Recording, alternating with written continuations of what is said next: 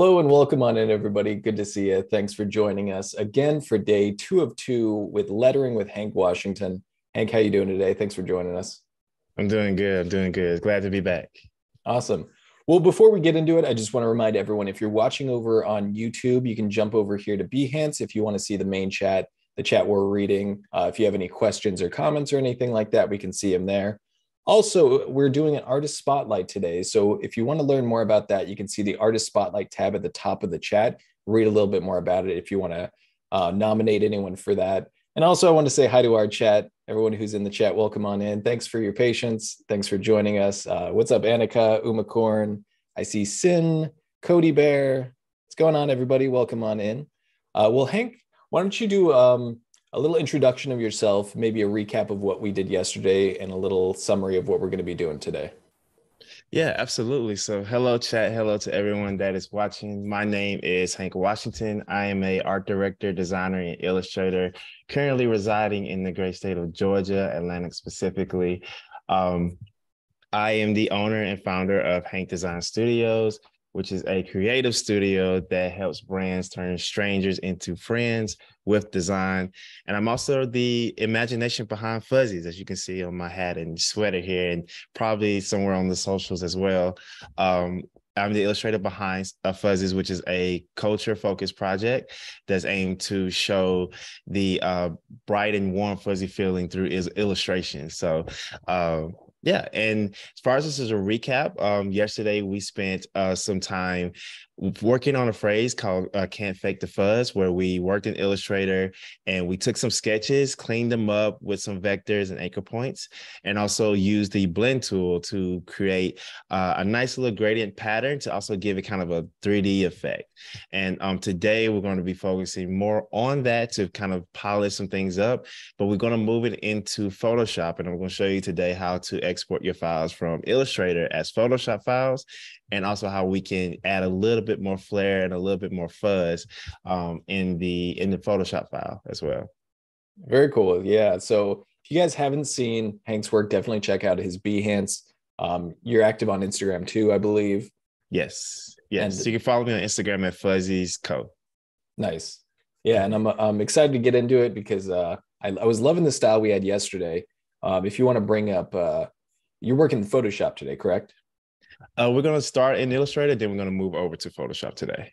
Okay, very cool. So if anyone didn't see it, um, he'll be showing that shortly. But a lot of a really cool style going on. So I'm like, I'm looking forward to seeing that get kind of shaded and seeing what additional dimension that that uh shows. And I can already see like the similarities to the work on your Behance, like the the big bold shapes and everything. Yeah, absolutely, absolutely. Yeah, so we can go ahead and jump into it. Um, so what I'm going to do is going to start in Illustrator. So um, for anyone that wasn't here yesterday or wasn't able to see the stream um, process that we got so far, uh, this is kind of the messy artboard of what we start from start to finish.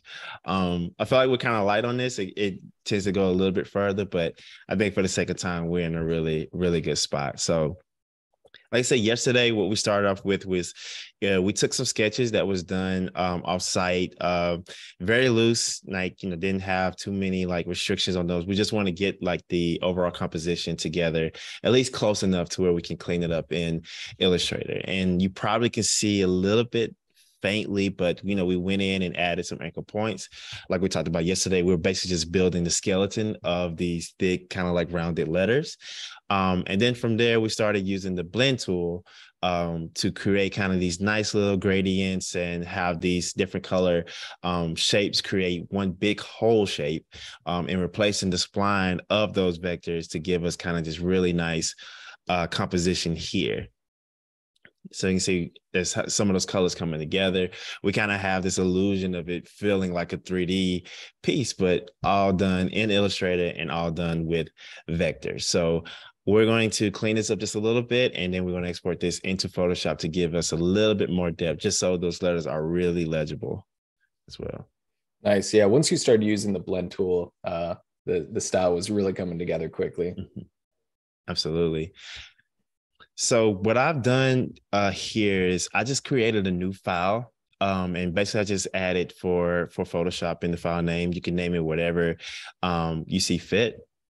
And what I've done here in the layers tab is all I just separated everything, right? So all the letters, individual um, collection of strokes are on their own separate layer. And you'll see why this is important when we move this over to Photoshop, but it makes it a lot easier to keep things organized. I'm guilty. I'm not a person that always names their uh their layers. so so this is definitely like not me. Uh but um for the sake of the stream, I think we want to make sure that we're staying as organized as possible, just so you can see how the workflow of this is happening. So you can see here, I have, you know, shapes like the C. Um, there's certain parts like certain parts like the A and the N, which is all connected in one stroke. We just have that in one layer, which is completely fine as well. So if you're ever working in an Illustrator file and you want to move something from Illustrator to Photoshop, but keep, still keep the layers, it's really just as simple as going up here to File, hitting Export and Export As. And as you're saving it, you know, we won't go through the whole process just because I have it open. Um, but you can just simply save it as a Photoshop file, which you can just see here in the format. Um, select export. We'll just say replace for the sake of this. Um, and it's, it's going to basically take the same settings that you already have in Illustrator. So we're going to keep it RGB. Not going to worry about printing unless there's something we do down the road. I think the resolution is fine for this case, and we're going to make sure that it's right. You know, it writes the layers because we don't want it as a flat image for you know obvious reasons. Um, so I won't save it here just because we already have it um, together. But what I'm going to do before we go into it, just kind of look through and make sure there's not any parts that's like doesn't make any sense. I think, you know, maybe probably here in the A, I feel like this like top part here probably can go behind that little curve that goes into the next letter. So maybe we can just go in um and switch those. And just like yesterday, again, you know, all these are just strokes with a blend effect to them. So we can adjust and move these as if it was, you know, a regular vector line. So we don't have to worry about changing like the outline and moving multiple anchor points. Um, to get the shape right. Let's see. Yeah, I think that's kind of a nice like things on here. Um yeah, I'm doing just scanning just to make sure that we're we're good on this one. Also, we're getting uh some compliments for the colors in the chat. Love the pinks. Me too. The colors are so vibrant and fun uh, from Cody and Penny. So yeah, people are digging awesome. the colors. Also, uh, we got some talk in the chat about naming layers. Um, and uh, Aniko's asked, yeah, yeah, I am on the team name your layers. I, I don't know if we talked about that yesterday, but does it vary between Illustrator and Photoshop for you? And do you tend to name and organize your layers, or is it just kind of whatever happens happens?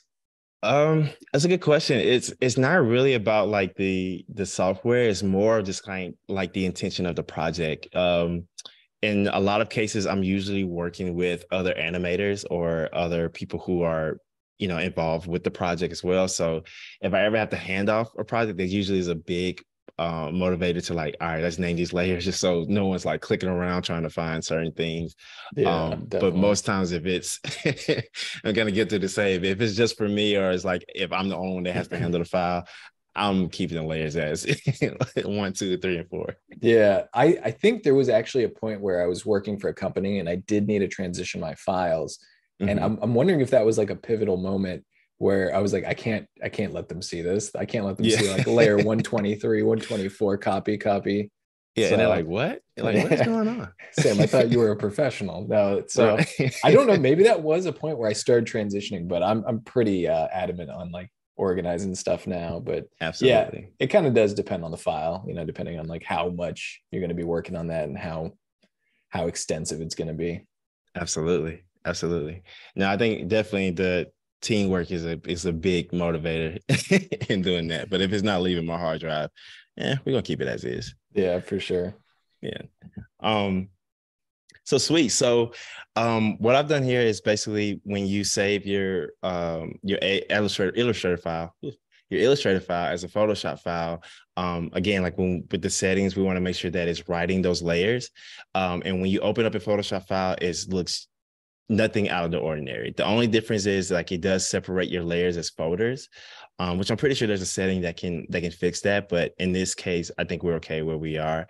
Um, so now we have the freedom to really hide and you know move those individual elements, just like if we were to build this out to build this out in Illustrator. I mean, in Photoshop. I'm sorry. Um, and just for the sake of this, we're just going to go through and just kind of rename these layers just to make sure. I tend to stay away from just like folders unless I'm working on very specific sections. Um, this is kind of my workflow specifically, but you know, if if you feel comfortable with folders, um, there's no problem with that. I think with this, because they're individual elements and the way that we're going to shade this, um, I like to keep the layers kind of just stacked on top of each other um, without any folders in between, just because it's a lot easier to kind of click through and not necessarily have to, you know, find certain things whenever I need them. Yeah, and so when you transfer this over from Illustrator, it looks like it it rasterized all the layers, right? Like they're not smart mm-hmm. objects or anything like that. Yeah, it, it does rasterize them. Um, you can go in and convert each one of them, but I don't plan to scale or switch anything with these. So even if we do add the effects and then make the whole project as a um, smart object itself, that's been beneficial if you ever decide to print. Um, and even some cases, there are now, you know, certain print companies that don't necessarily need the large file, but unless you're doing something at, at a very large scale, almost like a billboard or like, you know, whatever the case may be, you probably want to make sure that your Illustrator file is already up to size. Um, so that way, if you don't plan to scale or move anything, you're already at the project settings that you need to basically take it to print. Yeah, that makes sense. Yeah. Yeah. Um, and one thing I didn't do, uh, as you can see here, I'm just naming the layers as the same as they were. Um, but you can also do this in Illustrator um, to kind of save you a little bit of time. Uh, but you can also see this is the the um, the punishment of my sins with uh, lame, naming the layers. But again, just whatever is comfortable for your workflow as well. Yeah. Yeah. Um, Penny says, I love layer 48 just as much as layer 11 or layer one. I don't play favorites by naming them. There yeah, you that's, go. That's nice. That's good. I like I like the way that was put. Can't treat them like a favorite child. You have to treat them all the same. Also, welcome on into Sean. Absolutely. Now, what I've gone, um, what I've done now is I, I just selected all the layers outside of their folders and I just copy them. And what I'm doing is just hiding all the, the folders themselves. And we're actually just going to put this in a one big group and called it folders. And I'm to hit Shift Command V just to place all those layers back into the same spot right on top of each other. So you can see none of them have moved. We want to make sure like they're in the same exact spot, just so like now I can just kind of click on different parts that I need to um, select the the what I need to actually make the effects or whatever I want in the Photoshop file. So it looks like are you separating out each individual letter and um, punctuation as a separate layer? So not in each individual letter. Um, some cases they are um, one letter per layer, but uh, in a sense of like the A and the N, because I have it as one stroke in the Illustrator file, I just put that on its own layer itself. So as you can see now, I can just move that any way that I and I want that I want. Um, you can separate it by layer. Um, the only tricky part with that is that when you separate your anchor points, it does affect that blend in Illustrator. So you kind of have to be careful if you feel more comfortable separating it by letter, like that's completely fine. But just, you know, be mindful of the blend mode and the actual gradients because it can affect that. Gotcha. Yeah. So it's kind of situational. Exactly. Exactly. So what I'm going to do is I'm just going to select kind of, I like to start from large to small. Um, so kind of my largest element here is the two Fs that are connected together. You know, they have a kind of this really nice blend of just these colors, but what we're challenged with now is legibility. So we do have a problem with these letters really sticking out and understanding what the phrase is. So if you haven't been watching the stream, it does say can't fake the fuzz. So but we're going to try to see if we can make that a little bit clearer in the stream today. So what I'm going to do is with the F selected, I'm simply just going to press P on my keyboard to get the pen tool. Um, and we're going to treat this just like the Illustrator file. Like we're going to use strokes to kind of isolate certain areas. And we're going to use the brush tool, like a soft brush tool, to add a little bit of shadows. Now, everybody has different techniques. Like you can use the shadow effect on Photoshop. I tend to like to do them um manually just so I can have a little bit more control. But in some instances, we may see that you know doing the shadow effect on Photoshop may work out better than maybe the way I'm approaching it. You know, because we're learning together. That's part of it. Yeah, a lot of that is uh kind of experimentation and finding you know which techniques really work in what circumstances. Mm-hmm. Just gotta, you know, you just gotta find your motion and find your flow when you were talking about uh, legibility, it is kind of interesting because like if you know what the phrase is, you can see it when you look at it. It's almost mm-hmm. like it's almost like some of those songs where the lyrics are really hard to make out, but if you know what they are, you're like, oh, okay, I can hear it now. But if you yeah. just hear it without ever knowing what they are, you might be like, oh, okay. It's almost Absolutely. like the visual equivalent. So it's kind of an interesting effect. Yeah. I think Spotify kind of saved our lives a little bit when we were able to see the lyrics as we are hearing the song. Yeah. So yeah. I, I think it's nice too, like to have a little bit of a mystery to it. It's like maybe it's less about actually reading what the word says, but um enjoying the form. You know, it's it's almost like you know, if you ever took painting, like one of the things that like a lot of painting instructors tell you to do is like if you ever like painting an image or trying to replicate like a portrait or something, um, turn the portrait upside down. So like if you grid it out, like turn it upside down so you're not seeing it as a portrait, you're seeing it as shapes and mm-hmm. you you know you draw it like that and then next thing you know you end up having something that like is a beautiful piece of work you know yeah that's a good point yeah yes so what i'm doing here is all i did was drew a, a shape around just the area that i see that a shadow is going to be cast on um you want to kind of just get as close as possible uh to uh, isolate that specific area. And we're going to kind of repeat this process as well. Um, and when you make a shape, again, just using it the same way you use Illustrator with the strokes, uh, you can hold down Command and press that layer. And what it does, it actually isolates that area based around your stroke. So now, if I add another layer on top of that, which we can say this is the F shadow, and we'll just call this S shadow one because it's the first one.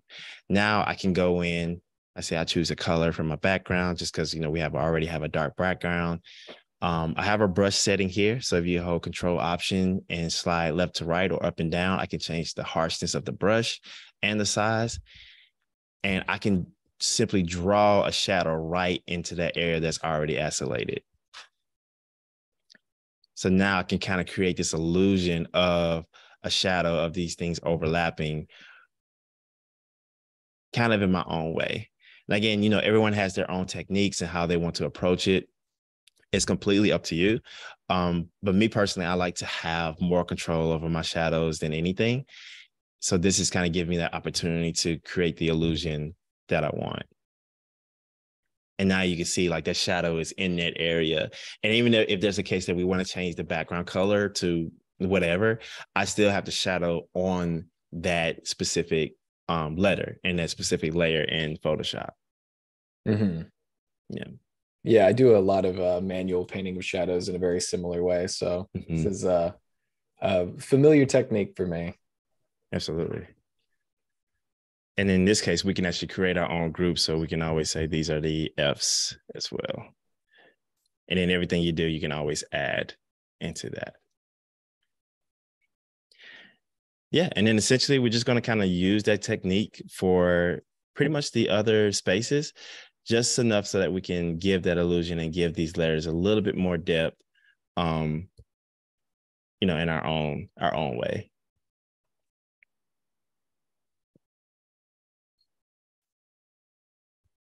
Now you can see kind of this overlap a little bit. I'm just going to kind of cheat just a little bit on this side. And again, your anchor points don't have to be perfect. You just kind of want something that's just close enough to give you the area. So do you always use the pen tool for these like precise selections when you're kind of masking them off for the shadows? Yeah, absolutely. It's um it's super helpful uh, when it comes to just uh, getting precise areas.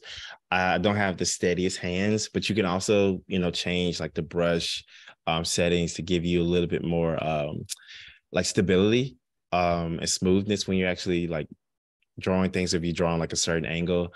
Um, but in this case, because I am using solely just a mouse just for today, um, and the shadows are not too complex, uh, I can just kind of rely on the anchor tool to give me an isolated area, and I can just kind of work based off that.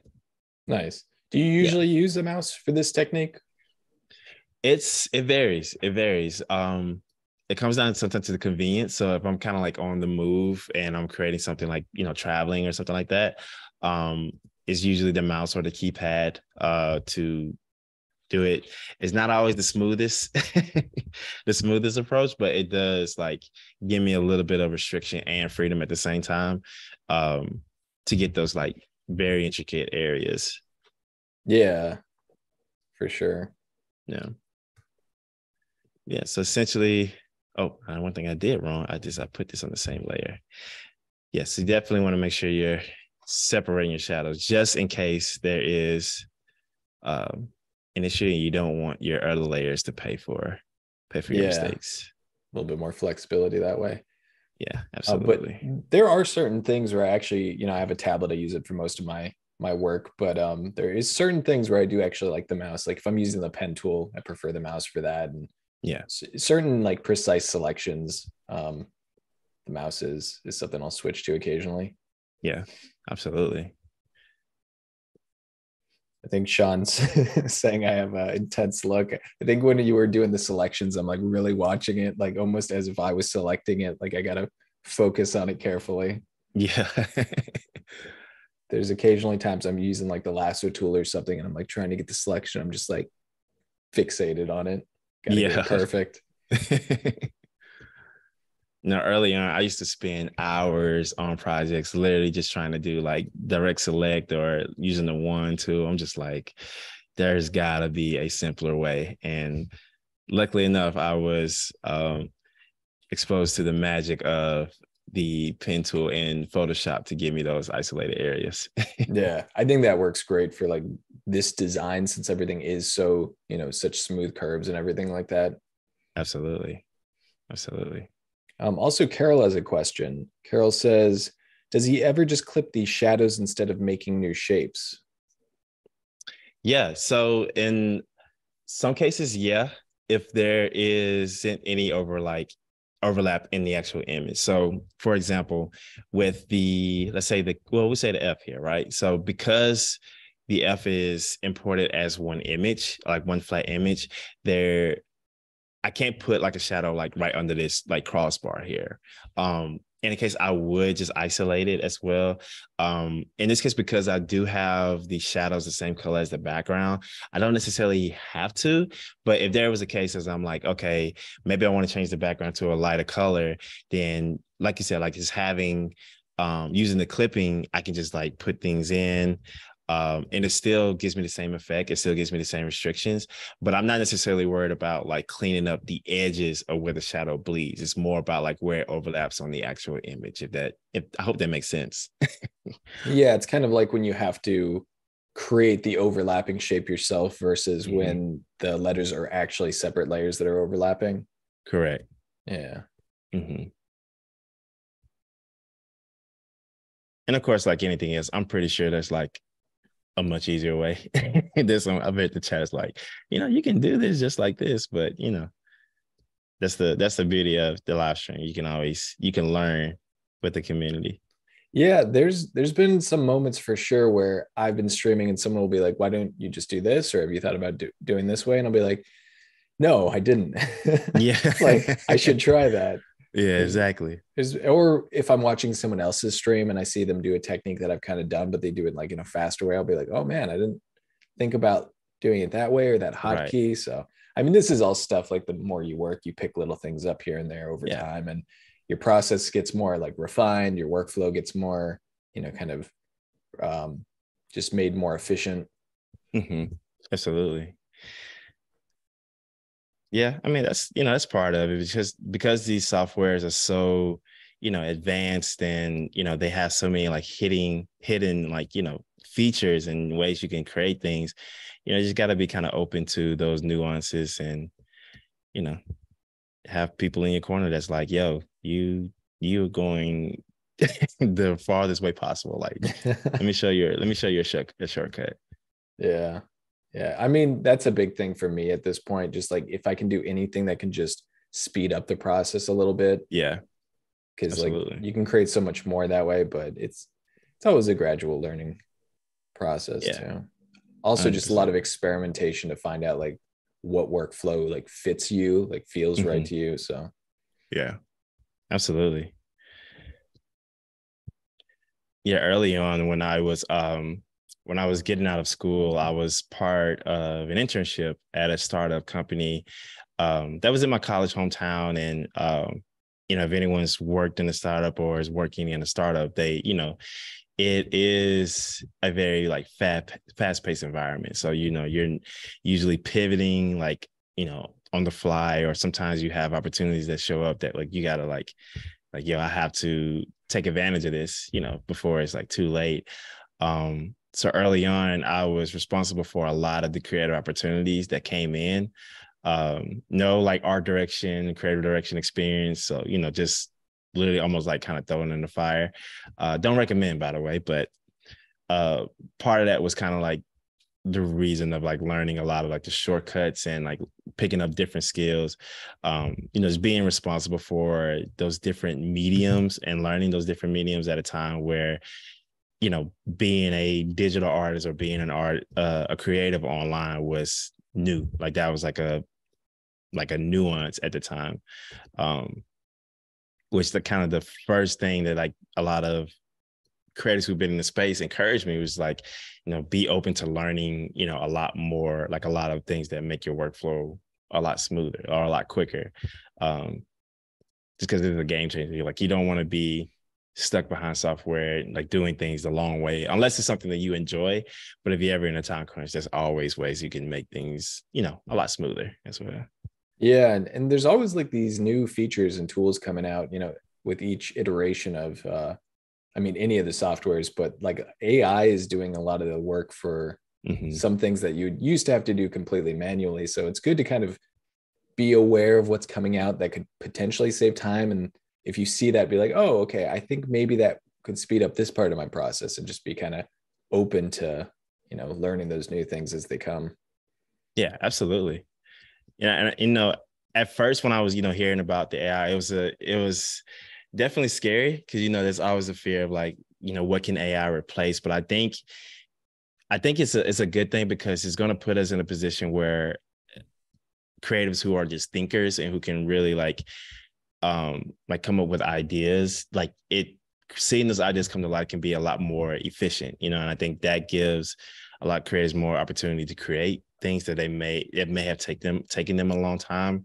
Um, and like I said, just take care of a lot of those mundane tasks that like slows you down, you know, in the sense of you know being creative. So, you know, sometimes you just gotta kind of kind of be encouraged and look at it optimistically. Yeah, and I mean just a lot of the AI driven tools in Photoshop, like a lot of the selection stuff where yeah, I, I can get like 95% of my selection done with those tools and then just clean it up a little bit manually here and there rather than do the entire thing manually. Right. Anything, exactly. anything that saves time like that could be, you know, game changer. Exactly. Exactly. And uh kind of on the touching on what you just talked about, um, I was curious, what was your background before you worked for yourself for your uh, your studio and your Fuzzies brand? What kind of clients or work were you doing prior to that? Yeah, so um, when I left school, I was like I said, I was part of a startup. Um, it was a startup social media agency. So this was at the time where social media marketing was actually beginning to uh, become more of a thing. Like this is something more companies were investing in. Um, you know, it was really really in the super early stages. So this was like Facebook ads and, you know, basically every social platform became a, a marketplace. Um, so when I left school, I started working there and it was just a team of just five people, um, super small, but they actually grown significantly larger now. I think they're like at 70 people. So shout out Socially In. Um, oh, wow. And they, at the time, you know, um, I was working there for about probably like three or four years, and I ended up becoming the, the art director, one and one of the only designers there at the team. Um, so I was responsible for a lot of just the creative content that was going out on our clients' social platforms. And at the time we was working with a lot of local places. These were like local restaurants, local um, you know, um, just like lawyer offices, you know, kind of small town businesses. Um, and we ended up growing and scaling to where we was able to work with brands like Dick Sporting Goods. Um, we ultimately had a chance to work with the campaign for the Winter Olympics through Dick Sporting Goods, um, and a bunch of other like you know um, Fortune 500 brands. And um, my role was starting to evolve where I had more creatives come in to be able to, uh, you know, work under me and, you know, kind of play the art director role and also still help them kind of create like bigger campaigns and things like that. Uh, over time, we ended up moving because the, the company started in Mississippi and we ended up moving to Alabama, Birmingham, Alabama, just to kind of get around some more talent. Birmingham was on this really big come up um, economically, and you know, the downtown area was just starting to evolve into something new.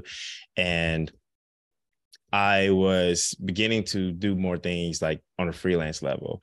Um, I was still doing it, you know, while I was working at the agency and luckily my the company was very encouraging um or was very supportive about being um being kind of your independent self like always have something that you can like fall back on and like they always mm. gave me a lot of like uh, pointers and just tips on what it means to like you know have your own business um, and you know, being a startup, you're able to see everything. Like you, I've saw everything from like the hiring process, what it means to like close deals, I've been in meetings where I've been like my palms have been like drowning in sweat in pitches.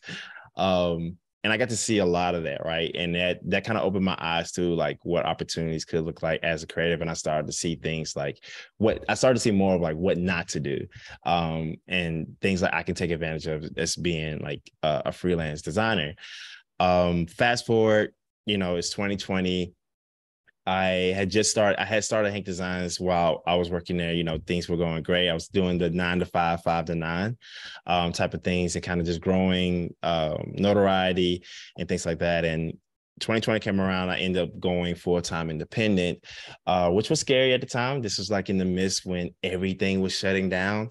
Um, so you can imagine seeing all you turn on the TV or any type of news is like it's red all over the screen, and then you're like, oh, I'm about to go independent. Like this might not be the smartest decision at all.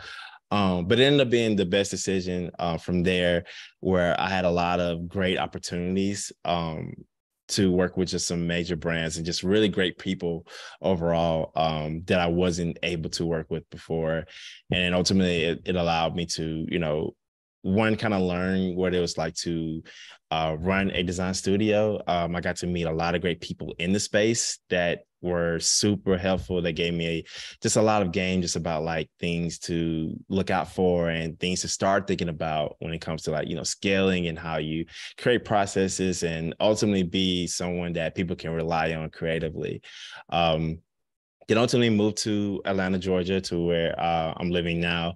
Uh, and just, you know, held on to a bunch of relationships, still got a lot of great relationships back in Birmingham and in Mississippi, um, but was able to create relationships across, you know, the the nation and um, really across the world now um, to be able to like continue to be pushed creatively, inspired creatively, but also be kind of a light, um, especially for you know young Black creatives who are trying to get into the space or trying to learn it and navigate it. Um, like now, I'm kind of like on a mission to be an example um, to show people like what they can be and hopefully much more. Yeah, that's awesome. That sounds like your experience with the startup. Like it was a really good one to kind of have the tools and stuff you need to kind of go off on your own with all the all the things you were able to see and learn from it. So yeah, absolutely. No, it was awesome, man. I I I would never uh take it for granted for sure. yeah. Yeah, good lessons learned. Um Annika was saying one person knows all, every startup ever. Yeah, I think uh I think working at a startup has to be pretty pretty interesting in that way because you get to see so much of like everything. It's not like each department is so isolated like bigger companies. You kind of get to see how everything works. So absolutely. Sounds like a valuable experience.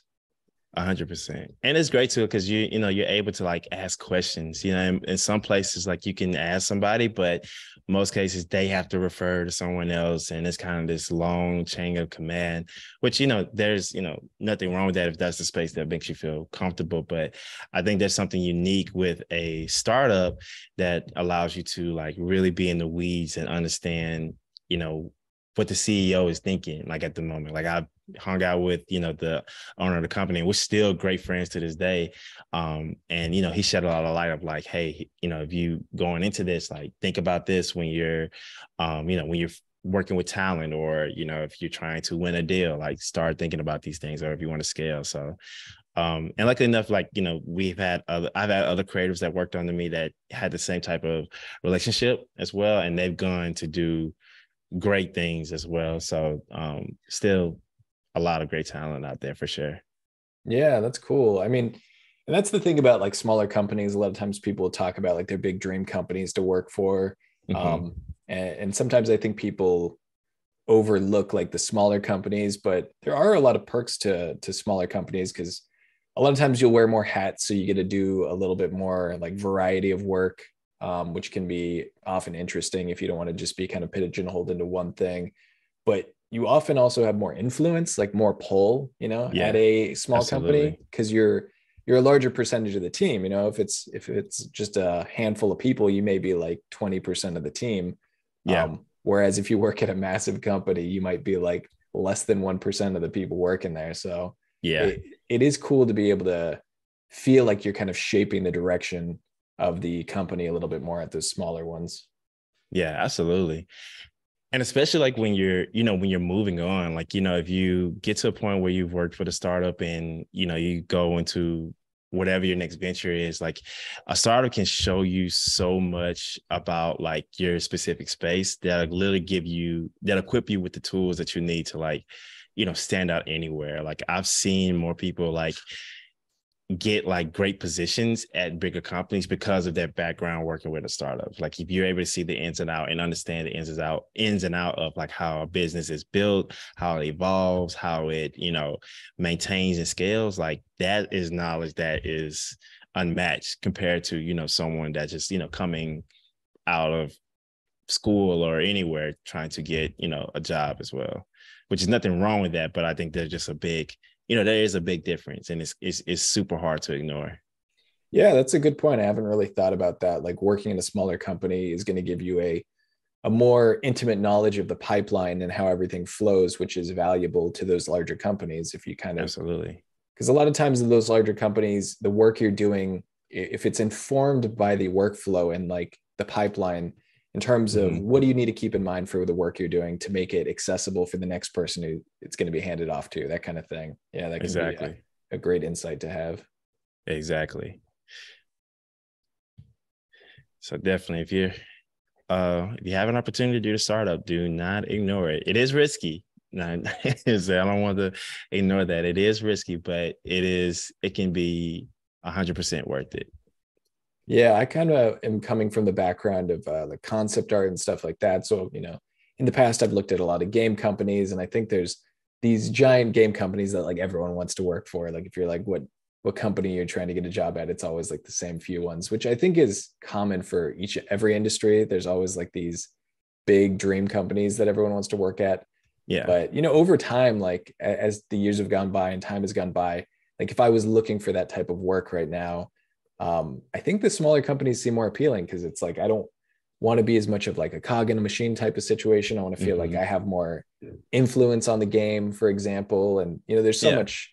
Um, there's always so many startups. I mean, it depends on the industry, what's going on, but like you know, VR is a thing that mm-hmm. a lot of companies are exploring now. So there's like a lot of small teams for that. And I think just when you're in one of those teams that's like trying something new and it's it's in the beginning stages, that seems like mm-hmm. the most exciting stage to me. Yeah, absolutely.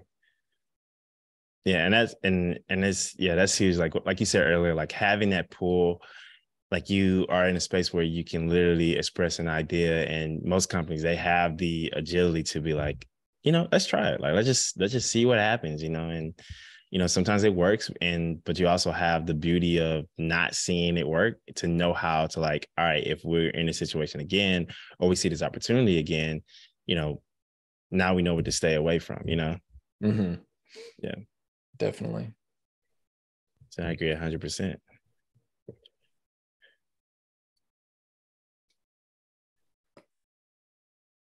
see so again, we're just kind of moving along here. You see, it's kind of still a little bit rough, but we're, you know, kind of shaping up the Fs a little bit, giving it a little bit of dimension. As you can see, this probably still blending in a little bit. Um, but just in the case if we don't get through the whole thing, I can kind of show a, kind of a neat effect that we can give it kind of that fuzziness texture, mm-hmm. um, but with the tools that Photoshop allows us. So what I can do here, if I have this F selected, I'm basically going to go up here to um, noise, and then we're going to go ahead and add a noise effect on here. Um, and I already have it set to 3%, just experiment with it before, but you can see it kind of gives this really nice grain, like super subtle. We probably could tone it down just a little bit. Maybe we go like 2.5. Let's see, 2.57. We just do 2.5 in general you know, just kind of soft enough to really give it a little bit of texture.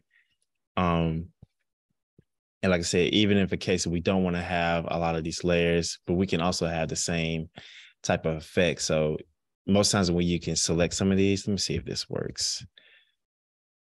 Okay, so it doesn't do it as that, but can we you, can do a short key. Oh, I'm sorry. I was gonna say, can you add um, noise to a entire folder? I guess it would need to be uh, yeah, no, I'm not sure if that would work. We could try it. Let me see. Um, that, I guess usually I do that via adjustment layers or. Gotcha. Yeah. Gotcha. I don't think it allows the entire folder. Yeah. But I didn't think about adding an adjustment layer though. Let me see. Let's see. Does it give us a option? What gives us a pattern and a gradient. Yeah, I don't think um I think noise is done differently, but uh mm-hmm. yeah. I guess yeah. there's different ways to add noise. So now I'm wondering yeah. if there's something you could overlay over the whole folder, but yeah. Yeah, sure. that would be convenient though if you can add it to the whole folder. So that way it's like you know, you don't have to um do things individually. But there is a short key um, which honestly I've never used it before. I'm actually gonna try it now, which is I think it's like, oh yeah. See, is it? Let's see, is that shift? Is that referring to shift or is it shift command F? Yeah, I don't know what that symbol is. You're on a. It looks like you're on a Mac. Um, I don't have that symbol on uh Windows. Yeah. Let's see. Yeah, I don't know. Let's see filter. Let's just see what it does. Yeah, I'm not too sure. It may be one of his alts. Alt command F. Nope. Yeah, I'm not 100% sure what that is on. Oh, okay. It's control. Gotcha. That's oh, what it oh. Okay. Ah, okay. I see Makes what you're sense. doing there, Photoshop. You sly goose. Gotcha. Oops, move the background. Okay, so then now we know the short key. So if you're on a Mac, Control uh, Command F actually applies an effect, so that way you don't have to go to the layers. So now you can kind of see that we have this kind of fuzziness and texture that mm-hmm. we can mm-hmm. apply to all our shadows, which is something we don't have to do now. But I think being able to see it um, before we move on to the other letters, I think is like really nice. These let, lets us know like we're moving in the right di- direction. Yeah. Absolutely. You know, and we also can, you know, work with blend mode. So if we ever see something that's like not working, which I don't think a blend mode will work in this case, uh, we'll just kind of keep it, you know, all normal. Um, but we can always go back and fix those as well. Nice. Yeah. It's nice to have that flexibility. I play around with that pretty often. Um, like I have this similar technique for adding shadows, but I always just use multiply layers. So that's like my mm. preferred way. Yeah. Yeah. And I think that's something I, I haven't like like experienced enough with, like actually drawing on a multiplied layer. Um, mm-hmm. I think I've just been so like used to finding the right color in every situation yeah. versus like actually blending the color, which is actually a great idea. I don't know why I didn't think about that. So well, there's so many ways to do shadows. Like I know some people use like exposure layers where it just darkens it down, but what mm-hmm. I like about multiply layers is it keeps that information underneath. So if you have a gradient or you have a texture, it's still going to show that. It's just going to darken it down a bit. But what's nice is you can select the color of the shadow essentially. So if you want like like you're using a purple, and that's what I use too, like a mm-hmm. a cooler like purple shadow tone. Uh, but you could mm-hmm. also make warm shadows and you know really whatever you want. So I like the flexibility of them. Yeah, that's awesome. yeah, I definitely have to start putting that into the workflow. So now what I'm gonna do is um, I'm so what I'm doing is looking for opportunities, right, that I can um kind of simplify the workflow. So what I'm gonna try here is with this crossbar, because it's only gonna affect the shadow right here, I'm just gonna add like a regular drop shadow. And I honestly think I can pull from here. So actually kind of another quick like trick uh, trick that I thought was super useful and helpful for me at least. Um, if I ever want to just add effect to like a layer that's really close, if I don't want to go through the whole process of like clicking here and go finding the same effect, you can actually hold down Alt, Alt and drag that effect to the layer that you want it to be the same. So that way you don't have to, you know, repeat that same process over, which I thought was pretty neat. Yeah, that's great. All those like little time saving tricks yeah, game changer.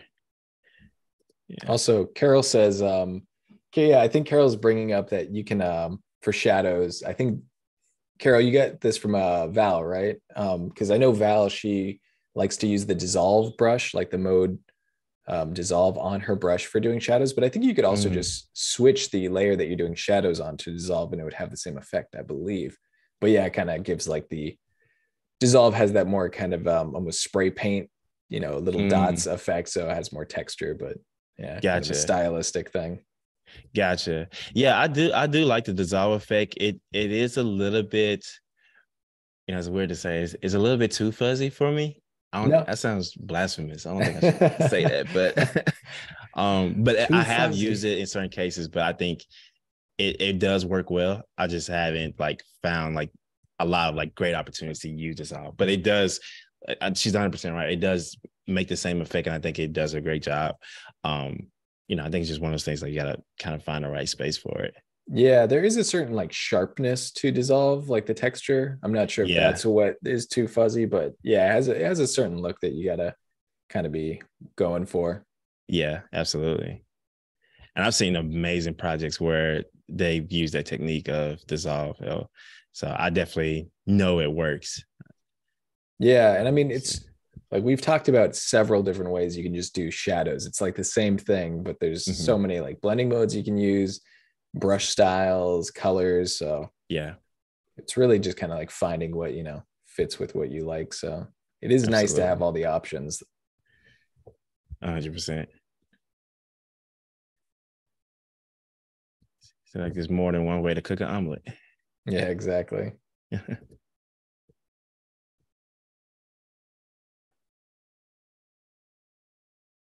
yeah, so essentially, like I said, we're just kind of going in,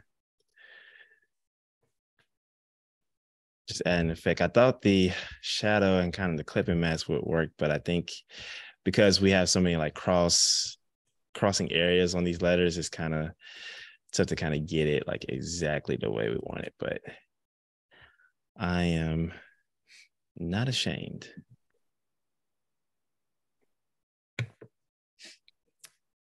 Carol says you could probably blur it a little bit too to soften the fuzzies. You're saying um, with dissolve, I think mm-hmm. Carol, I had that same idea. I was like, I wonder if you could like, you know, just I don't know, blur it after the fact. Yeah, I think I think so too. I think that's like again, I think one of those things where it's like, well, actually, no. Let me take that back because I think if we can blur it while it's isolated, it actually feels. Man, look at look at look at us. Look at us. hey, look at us. Just out here, just giving out just great ideas. No, I actually like that a lot. Um, maybe just blur just a little bit, just so it's just like hitting those edges. It still gives it a little bit of an effect, but I'm okay with that. maybe we just kind of soften these edges up just a little bit. You know, and again, like this is it is very it seems very tedious, but you know, I think it's these projects are really nice where you know you have a really nice like um like podcast or like a nice lo-fi playlist that you just kind of like, all right, I'm just burning some time. It's it's looks like it's about to rain here. So this is actually be a perfect like nice project that selfishly I might not finish just so I can have this to work on later. yeah. Get in the zone. Yeah, exactly. Yeah, and there's there's certain things like if you're doing the same kind of process repetitively, um, like when I do it in the beginning, I notice it seems very tedious. It takes a while, but it's like once you do a few of those projects, like you, all your hotkeys get knocked out, and you're just like your hands are almost like just automated with all the keys yeah. they're hitting really fast, and it just becomes kind of second nature. So, absolutely, if you, do, if you do something a lot, you tend to get you know pretty quick at it. hundred percent, one hundred percent. I actually really like adding shadow too. like is yeah. it's one of my favorite steps. Like when I do character art and stuff, when I get a get to the step where I'm adding shadows, like I mm-hmm. I do mm-hmm. my lighting layers and I, I, put my um shadows on a multiply layer. I usually do like my lighting on color dodge layers just to block mm-hmm. it all out. And that's like one of my favorite steps where I just get a start adding depth because it comes together so quickly. Mm. No, that's awesome. Yeah, I'm actually like really curious because you know and you know, we talked about this offline. Like, you know, I'm I was a huge fan of your work, especially like, you know, on your Instagram with the um Moon Knight piece. And oh, thanks. That style of like illustration I thought has always been like um, you know, super interesting to me. So I was like curious, like what's what's that process like? Like what does that look like? How do you like because I saw the build up and you know I thought it was like super dope to see kind of where it starts from, but like I'm curious like what the thinking is to start from kind of this blob of paint in the shape of what looks like a person then to end up with something that's like well this is actually pretty dope. Yeah i think it's it's like a lot of discovering a workflow. I mean it's been like years that you know had to figure out why do i do each step that i do? Mm-hmm. um and i kind of go from like line art to flat colors to blocking in my lighting layers with the multiply and color dodge like i mentioned and then mm-hmm. painting on top of that opaquely to finish it but it's like you kind of have to discover that stuff over time like each mm. stage of the process has a reason and that reason came about from solving a problem that i had previously so if mm. before i was like i always get stuck on this or whenever i get to try to lighting it it looks really bad and then you're like okay why is it looking bad what can i do to solve that and you slowly kind of work your way into this process where each step has a very specific reason because it you know accomplishes something so mm-hmm. it's just uh i think my whole thing now is basically trying to visualize the finished product as early as possible so mm-hmm. i try to block in every element of the piece um, in a very very rough way so i'll do like a very rough sketch very rough flat colors very rough lighting layers and when mm-hmm. you have all those elements together even if they're very loose you can kind of see what it's going to look like finished. Like you can you can tell mm. if this is working or not. And then mm. the nice thing about that is once i realize it's not really working i can find out which one of those steps is it failing on? Like is the pose really bad? Uh, is the ah, perspective off? Are the colors not good? And i can makes go sense. and just change that one thing that i didn't spend a lot of time on because it was so rough.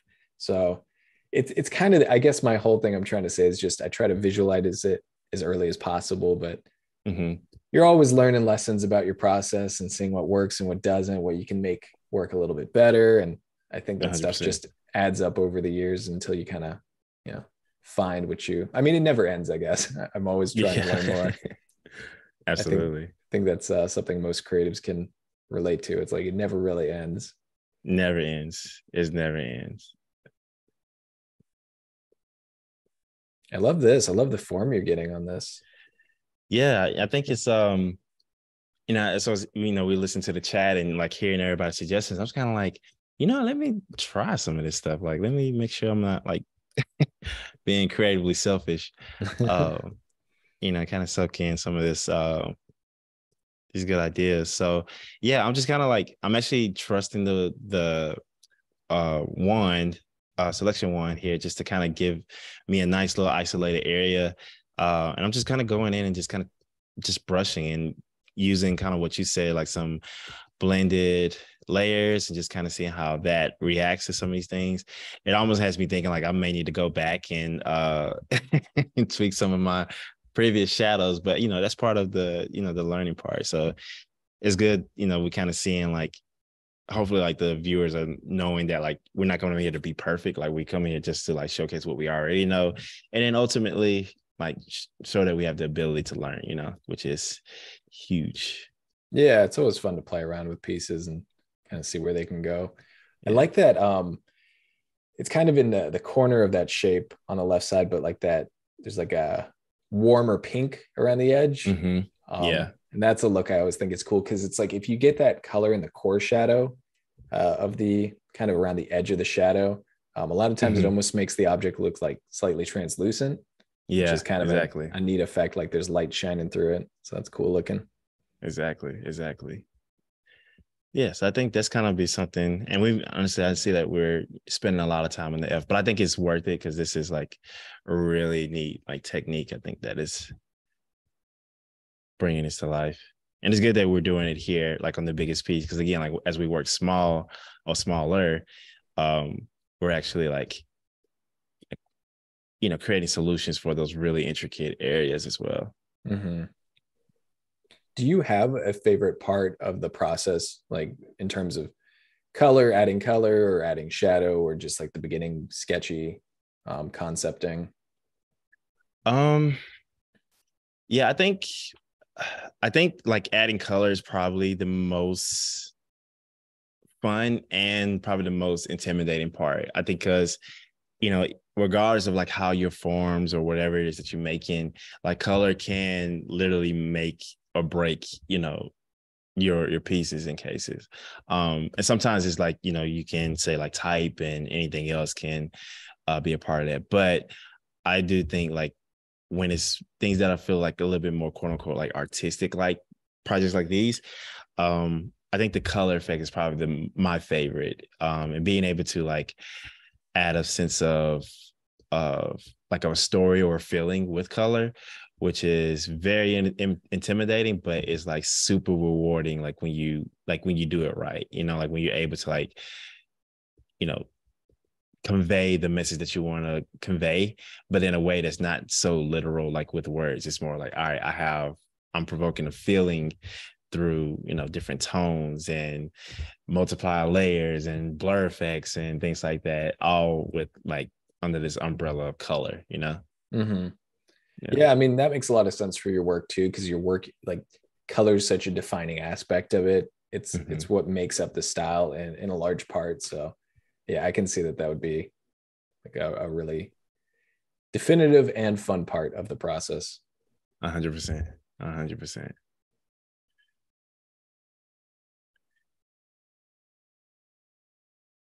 Yeah, you can see kind of like some of the. I don't even know if like Oh, wait, I did not think about that. Also, too, like just the use of um like the alt key where you can like choose the different options of certain tools is another like really big game changer, which I don't think this is working as well. Um, I'm trying to just see like kind of a nice way to really this is just move um isolate this part but you know i think it might not be the case which we can simplify it but it looks like it's oh i'm no wonder i'm on the wrong layer um yeah looks like it's not forgiving but i think that's okay i think you know ultimately we're still just getting that story across and now i feel like i need to like go in and multiply all these layers just because it looks so much better yeah kind of a different stylistic look yeah yeah, a little darker, but you know, I'm I'm okay with it. I think it's it's still in, invited to dinner. This is making me want to do like I've never done a lettering piece ever, I think, but like when I saw you doing this style yesterday, where it's like these big kind of um, rounded looking shapes, like instantly I was like, man, I, I kind of want to try this just so I can like shade it because I you know, I love doing love shading stuff. No, go for it, man. I, I, don't trust me. I don't. I can share you the this file, man. If you want to just get, use it from a blank slate, like let's make it happen. Yeah, it's a it's a really cool effect. Hundred percent. Yeah, I like, think it's you know super. It feels soft. It's almost like I I like to create yeah. things that you can like really feel.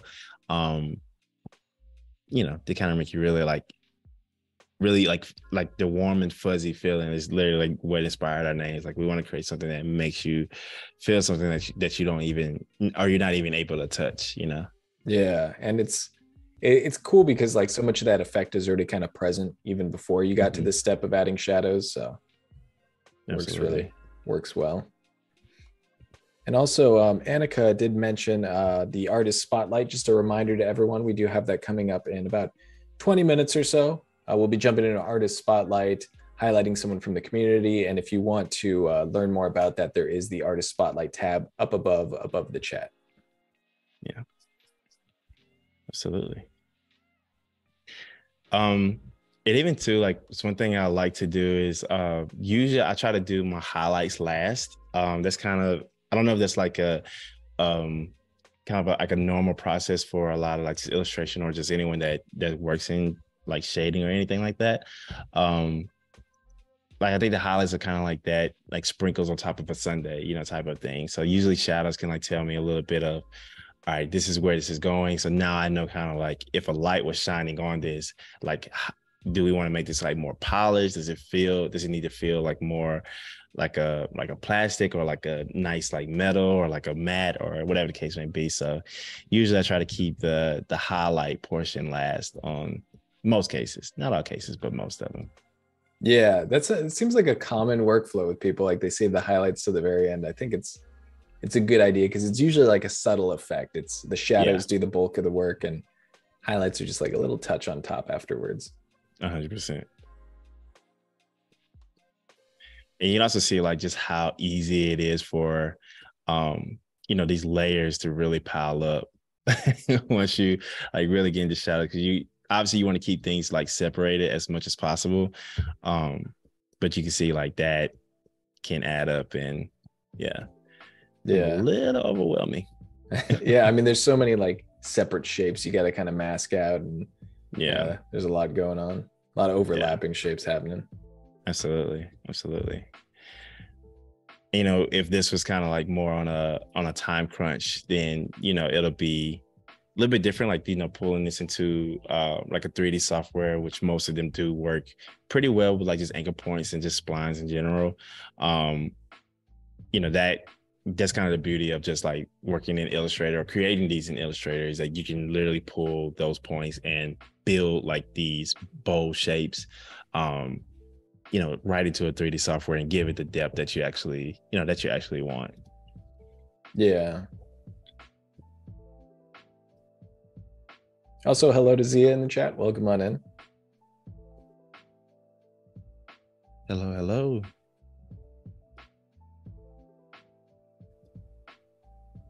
So we're just chilling and making some letters over here.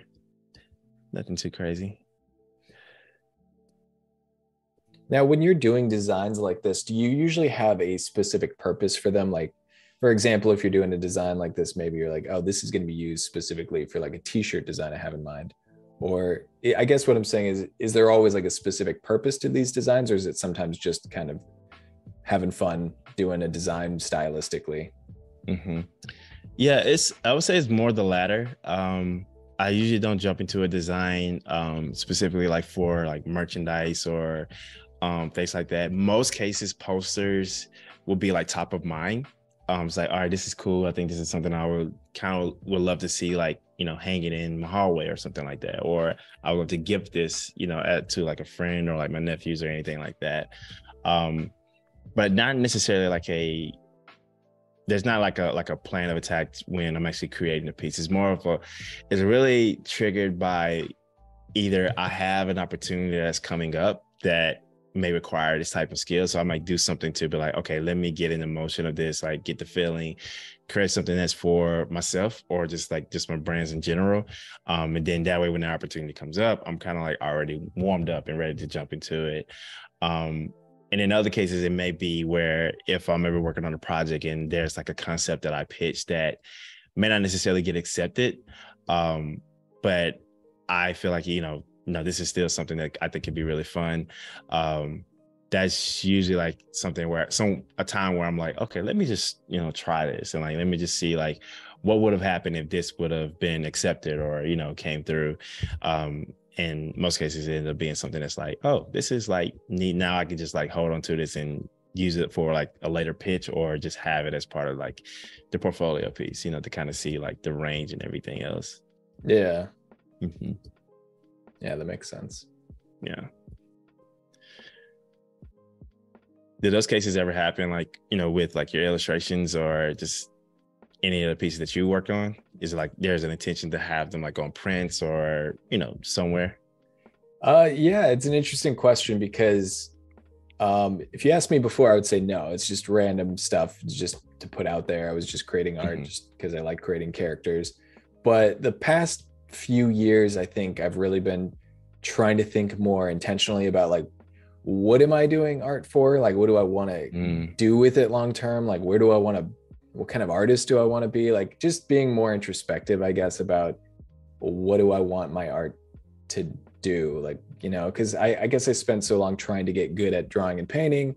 Um, mm-hmm. And there was less, it was almost like more focus on the technical skill, acquiring mm. that because uh, when I started, I made I kind of felt like I was starting a little bit late, so I was like, oh, I got to catch up to all these people who are so good at art. Um, mm-hmm. But then there came a point where I was like, really, like, well, why am I doing art? Like, what do I want to mm-hmm. do with mm. it? And so, at first, no, I would just do characters because I like doing them. But now it's more project based, I suppose. Like, I was kind of thinking like long term, what do I want to create?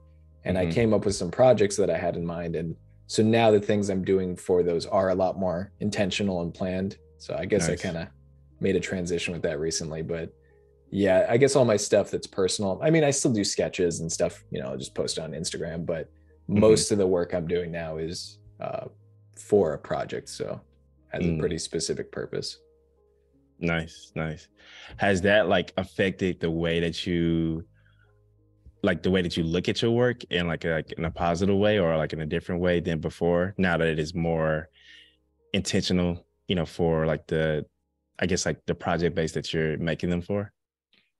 Yeah, I think so because I've always been very like emotionally detached from my work. Like all mm-hmm. And I guess it's because what I said before where I was very focused on the the learning aspect of it, trying to get technically better. So I would just mm-hmm. look at old pieces and I'd be like, yeah, I, I wasn't I had more lessons I need to learn. You know, I'm better mm-hmm. now. Like I don't think that's very good but i think it's also because like when i was doing that if you're doing something just to get better technically which i, I think is good and uh, valid but it's like maybe the idea wasn't as thought about you know what i mean mm. i got like maybe the characters just uninteresting they're kind of dull but because i didn't put a lot of thought into it it was just like a random character gotcha um, but i think because i'm doing stuff now that's for like a project that i can see this project growing and it's building into something that i hope it will be eventually mm-hmm. I look at them more positively, maybe because it's like, oh, this is a, you know, this is one of the bricks to to build the thing I'm trying to build. So mm, it's like I can, sense. I don't know. I guess it's it's just a different purpose for it. So look at it a little different in that way. Gotcha. I gotcha. That makes but, sense. That makes sense. But I think it's it's kind of like your work, like anything that just adds to that brand, like all your fuzzies, you know, each time you do that, it's part of something bigger. A lot of the stuff I did in the past was like, I don't think about it again. I kind of throw it away. I'll post it online, mm-hmm. but it has no meaning to me after I finish it. But like if you're doing something for a project or like it's building into part of your brand, I think there's like a certain um, it feels inherently like more valuable that way because it's like mm-hmm. it's accomplishing accomplishing something larger. So I like right. I like that direction. That's kind of where I'm trying to move more. Gotcha. Gotcha. No, I can I can definitely agree with that. I think that's like, you know, it does like you said, it does kind of like,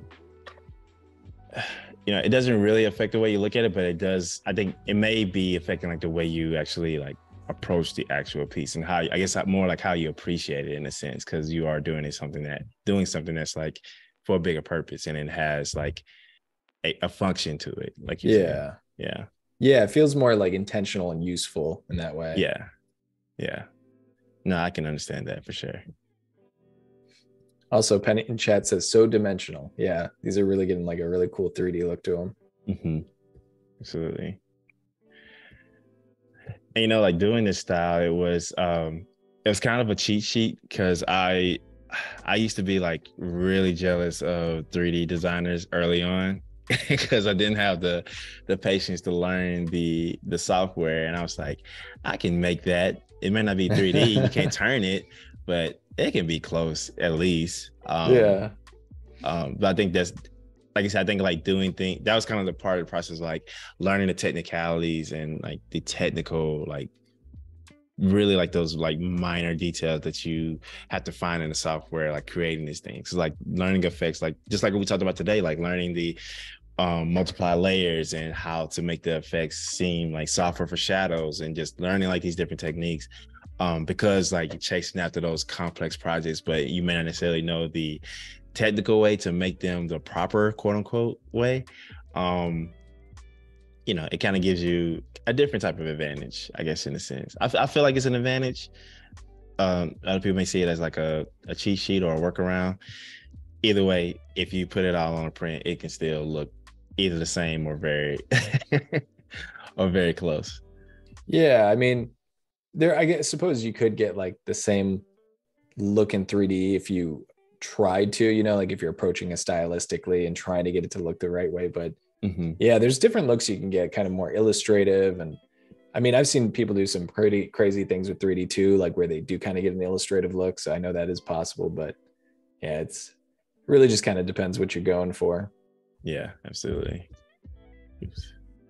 I imagine if you did do 3D in the future too, though, like this this background that you have, like the aesthetics of, of your illustrations and your lettering and all these 2D processes, like you know you could take that and kind of apply it stylistically to be like almost like you're trying to mimic that style with 3D. So I think a mm-hmm. lot of mm-hmm. times when I've seen 2D artists transition into that, there's some like interesting insight they bring. So yeah, yeah absolutely.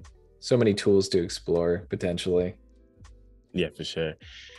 Yeah, it's, it's definitely it definitely helps you develop an eye for finding colors and spaces that you wouldn't normally look for. Um, mm-hmm. you know, like we talked about with the last stream, like, um, you know, I I'm super appreciative of my professor, but you know, she used to uh be really strict about us not using any like direct black color. So if you had like a black pastel, black crayon, pencil, whatever the case may be, we weren't allowed to use it. Like you had to mix colors to actually create that black or dark color. Um, and that that lesson alone and then just like practicing things like this um was super helpful to be able to like you know have that eye for certain color schemes and certain colors. So like i said when you do if you ever work in like a in collaboration for a 3d project and you know you're maybe like i say you're art directing or things like that you're looking for very specific um things that you wouldn't normally see uh, in anything else. So like you know, definitely again, I think it's a still another advantage. Um that I think that instances like those can like put you in a different different category. Yeah, and it's like those fundamentals of design and art, you know, color theory, composition, all these things. Yeah. Those are going to be relevant regardless of the medium that you choose. So whether you're doing yeah. like oil painting or you're doing these designs in Illustrator or you're doing them in 3D, like all those fundamental skills are going to be relevant and they're going to transfer. Yeah, 100%. There hasn't been a case where at least that thought process or that um you know type of required what that type of like medium wasn't like required it's very rare that you don't necessarily have to use that mm-hmm. unless it's like done for you you know yeah also, Annika asks, um, can we see the full piece now uh, that some letters have the oh, shadows? Oh, yes. Yes. Kind of zoomed out, I think. Yeah, absolutely. Nice. Yeah, it's just starting to come together. Good call, because yeah. you definitely have to back up from your work once you're like doing the details. But yeah, but you can start to see like how it's starting to adjust, like based on the things that we've learned. So you see like where we started, like, you know, it wasn't you know, none of these, I keep referring to the multiply layers because it's just a game changer. But um you start to see like how it's starting to change and evolve over time. But we can always back up, change some things. Um, you know, we just kind of wanted to see like where it's going. But definitely a great call. Uh, I always have to back up to see the full piece. Yeah. Yeah, it's cool to see that uh that form kind of from left to right starting to sweep across the piece. 100%. Makes such a big difference.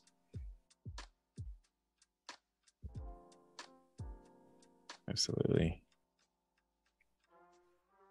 Also, kind of on the topic that we were touching on previously, um, was there anything that helped you find your artistic voice and your style? Like, was it intentional in the way that you went towards it, or did it just kind of happen naturally over time? Um, it was a gradual build. Um, at the time when I was getting back into doing a lot more like personal work, specifically specifically illustration. I uh, invested into an iPad, which you know that was something we talked about in the live stream, um, which really was a big game changer for me to like start doing more digital drawing and have the ability to create something one on the go and not necessarily need to have like a scanner or um, or anything else that I had to like you know move my sketches to a desktop somewhere.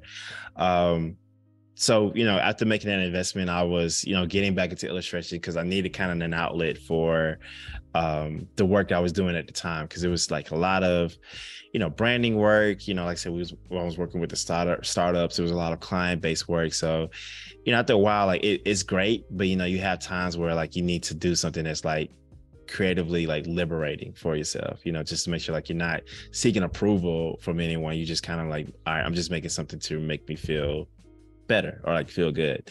Um, so I invested in that and I was getting into illustration and, you know, I was just like, just trying a lot of different things. And, you know, I was mixing it up with, you know, draw, sketching on iPad and then also sketching uh, or actually doing more detail work on Photoshop and just experimenting with like just textures and grains and things like that. I wanted to create more stuff that I can feel. So I didn't have the patience to like do a lot of like portrait drawing, like actually like heavy detail, like like photorealism type drawings, and um, which I enjoy seeing them. But I started to realize like creating this like I don't have the time, or I don't want to make the time to spend, you know, thirty hours on this, which would be great. Um, so I wanted to do something that was kind of simple that allowed me to get a lot of ideas out where I didn't have to wait until I finished one piece to do the next one. Or I, if I did have to wait, it wasn't long. Um, so just, you know, trial and error and getting inspiration from a lot of just the cartoons that I was enjoying when I was younger. So a lot of nostalgic inspiration were people like uh, Skeeter from Doug, um, the imaginary homes what is the home for imaginary friends um just seeing how those characters all had their their individual like characteristics about them that make them unique. And like you know there's a great documentary out there about like why that show was like impactful as it was. Um and, you know like i wanted to create something that gave me like a feeling of just culture without being very literal. Like in a sense like how can i capture you know someone that i saw or someone that i encounter like on a daily basis or every so often in a way that feels like them but you can't necessarily tell that's them. Um but you also you can just feel like this is the person i'm talking about. Um so just creating these these characters and just simplifying their looks you know stumbled across like what we see now with with fuzzies and just you know finding something that like felt really good um, and just putting it on repeat, right? I wanted to wanted it to become something that was like a universe and um, have it become something that like I can build a world around that you know I can just continue to add to those collection. Because at first it was just something to you know get away from, like you know when I'm off work, all right, let me go create some fuzzy characters or like these illustrations, and then let me just add them to the archive. And then over time, you know, after sharing them for a while. Um, I had an opportunity to actually apply that style to some client work um, that came like down the road, and that ultimately like motivated me to create it as its own brand, which is you know again uh, a long time in the making, but you know that's kind of where it like kind of sparked from just really just getting away and just investing into just creative equipment to create something that is i can call my own but now ultimately share with everyone else. Okay cool. Yeah yeah, that makes a lot of sense. I think a lot of that is really just like a gradual process of mm-hmm. kind of trying things, growing, learning. Yeah. But, uh, I'm always interested in how people kind of, you know, come about to their to their own aesthetic and style. Yeah. it's definitely a result of a lot of trial and error to Um, just trying things and like like I said, being a part of a startup, you're especially as a creative, you're probably going to try a bunch of mediums that you are not familiar with. So you learn pretty quickly as far as what it is that you like to do and the things that you never want to do again. yeah, for sure. Yeah. Um also you you mentioned that a documentary that talked about like why certain shows were as impactful as they were. Uh, mm-hmm. What was mm-hmm. that about? Yeah, so there's a great YouTube channel um called Nerd Nerdstalgic. Um, so it's N E R D uh S T A L I no wait, nostalgic. yeah, S T A L G I C. Yeah. yeah. Nerdstalgic. Um, it's a great channel. Um, I I've been following it for a long time. It was another guy that was like hosting it, but I think he's working on a, a movie now as a result of the channel. Um, but he does a really great job of breaking down kind of the best and worst like episodes of a series, or talks about like it's a um, shows as a whole, um, and really kind of shape a different perspective like of what those shows were going through at the time that they were airing, and even before like they actually became what they are and what we know them um, as today. And it, it, it, like it goes to the history of like the artist, like who the artist was around, like what challenges they were facing when they were pitching those concepts to you know the networks. Um, there's a really great one on SpongeBob, which I think is super epic. Um, there's one like on Futurama, which is a really another great one. Um, but it does a really good job of just giving you insight on like why we enjoyed those shows and then why certain episodes and the idea of storytelling um like impacted us as like when we were kids when we were watching it. Like I didn't realize why I loved the show so much, but now it makes it makes sense on why I was able to relate to it. Yeah, yeah, it's cool. That sounds like that's like right up my alley. So thanks for telling me about that because oh I, yeah, uh, I grew up with like all those shows, so I'd love to check that out. Oh yeah, no, you you you're gonna love it. Like it's a really great like show to like have on like in the background if you're ever work in because it gives a lot of great insight on just like why certain shows and obviously it's more um opinionated than anything yeah. um but there's a lot of like history behind it and there's you know you know it kind of makes most of it makes sense. Yeah i mean it's super interesting to hear like analysis of that stuff because like when you're a kid you don't obviously think about it you just have this nostalgia for it you know mm-hmm. you enjoyed it but like hearing someone analyze it a bit is uh, usually very insightful. Yeah. Also Annika, Annika's reminding us that it's uh, artist spotlight time. The time oh, flies awesome. by, but yeah, we can. uh Whenever you're at a good stopping point with this, we can jump over into the artist spotlight, and then um we should have like a little bit of time, maybe um 10 to 15 minutes after it, that you can kind of finish up what you're doing here. Absolutely. Yeah. So I will put this artist in the chat. Um, I don't know, Annika, if you have this link, but I'll put them there. Uh, but yeah, we can just uh, go through some of their projects. I was looking over this before the stream, and I mean, the setup of their website alone is like really well organized and awesome. But I was just like yeah. blown away by these projects that they've done. Yeah, absolutely. So um, the the artist that you know that we're spotlighting today is um, uh, Ade Hogue.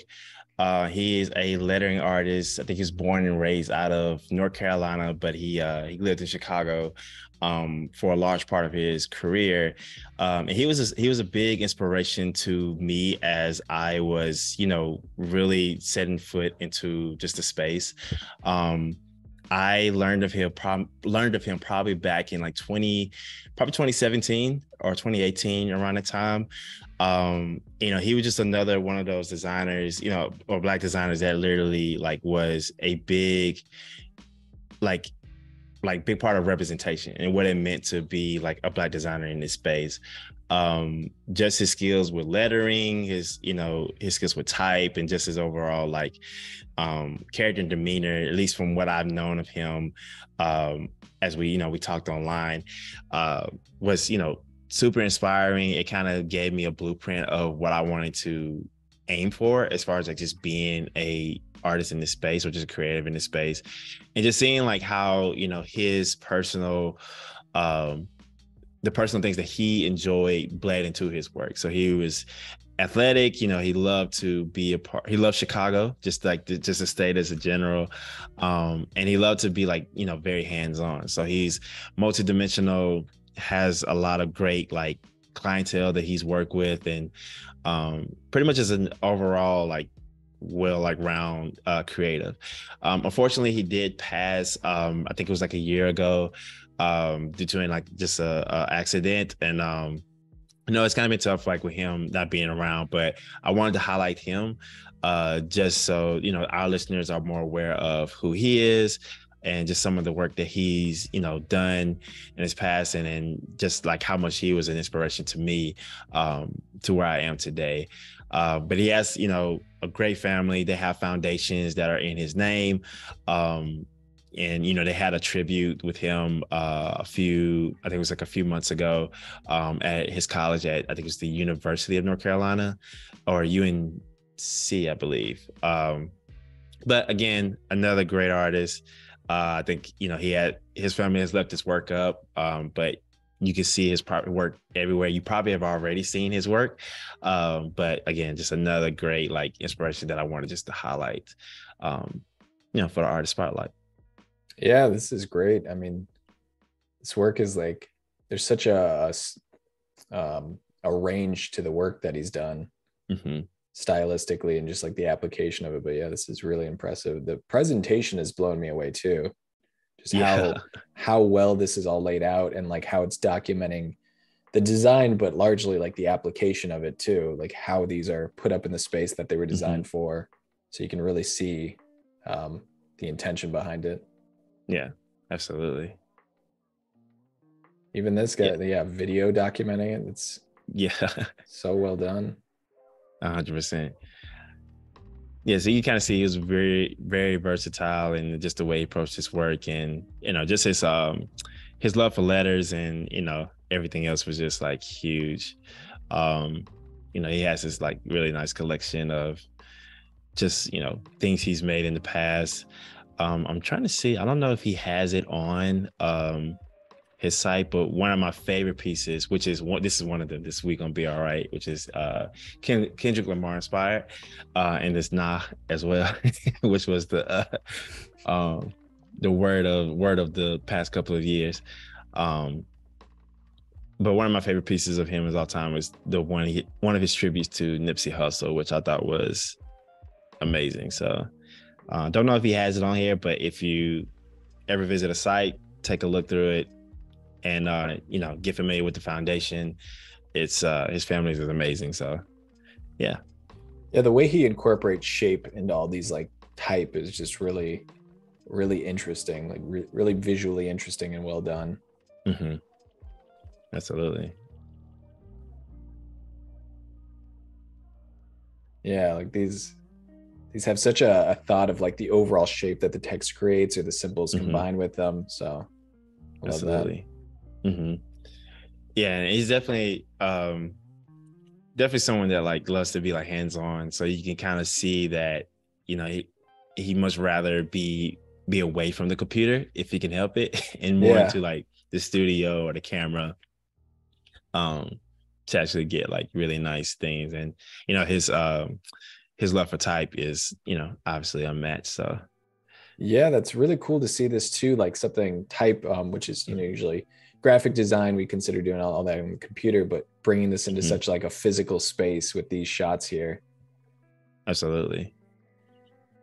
Um, and even his use of paper, like being able to have like this flat but 3D look, um, you know, it's just mind blowing. Like just to be able to have like some of these messages, um, you know, he's done a lot of work, especially around like when, you know, things like voting, Black History Month, um, in general. Like he's kind of someone that, you know, we tend to look to. Uh, it's almost like kind of like you waiting on it, like this big premiere. Like I know he's gonna make something pretty, pretty dope uh, for the occasion. So, yeah, I'm, I'm really impressed with like all these different skills that he's um, showing like this this paper you know and then that last one with the photography with the food mm-hmm. like they're all very different but he's just killing it for all of these yeah absolutely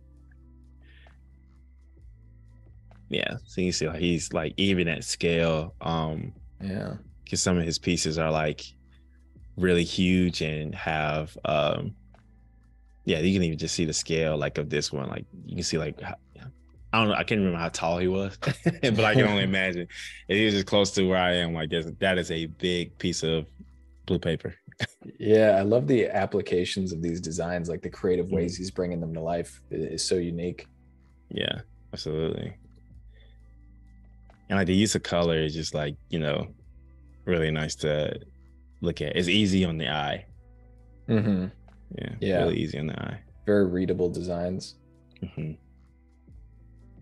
Yeah, and even his like involvement on like you know pieces of work that like on a larger scales, like with this work with the Black Messiah, with which that came out last year. Um, but be able to be, you know, do some art direction behind some of the soundtrack was, you know, super dope.